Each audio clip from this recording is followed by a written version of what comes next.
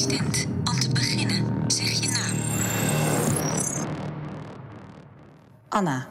Voor een open persoon kan het onthullen van een geheim meer schade opleveren dan het bewaren. Is er misschien hier iemand die een geheim met ons wil delen? Hallo Anna, heb je een vraag voor mij?